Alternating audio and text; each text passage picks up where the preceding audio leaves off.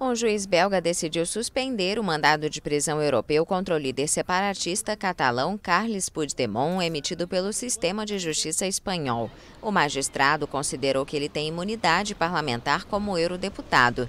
A defesa de Puigdemont informou à AFP que a medida também afeta Tony Comín, outro independentista que fugiu para a Bélgica em 2017, após a tentativa fracassada de separar a Catalunha da Espanha e que também foi eleito deputado em maio.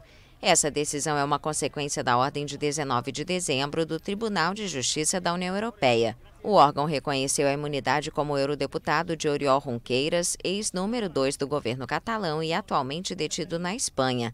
O juiz belga considerou que, assim como Junqueiras, Puigdemont e Comín podem se beneficiar da imunidade parlamentar. Os dois fazem parte de um trio de líderes separatistas. O terceiro deles, Luiz Pug, não foi eleito eurodeputado.